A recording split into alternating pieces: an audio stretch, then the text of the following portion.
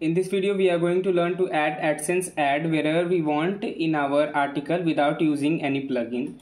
So this is the article that I have written and uh, I want to add my AdSense ad wherever I want in this article.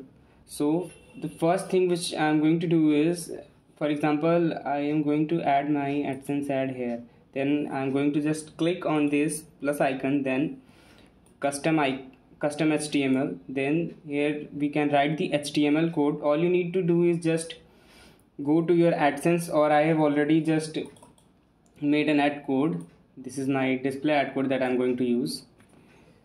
I'm going to just copy this ad code and I'm going to just paste it in this custom HTML box. You can also add more ads if you want. Just for example I'm adding these ads and uh, I think uh, here it will be better if we add this at them like, uh, like uh, here again.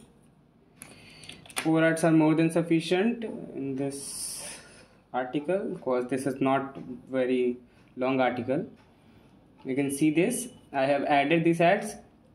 We can also check the preview that how it is going to look and I'm going to just preview this Uh, as you can see the ad is appearing. The ad is going to appear in between the article like this. This is the ad. We can also preview this ad that how it is going to look when we are going to post this article.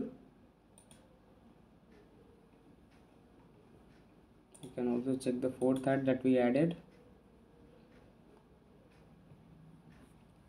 as you can see my ads are appearing on the spaces where I have pasted my AdSense code in the custom HTML box in our WordPress website. If you like this video then please do like this video and share this video also if you like. Thank you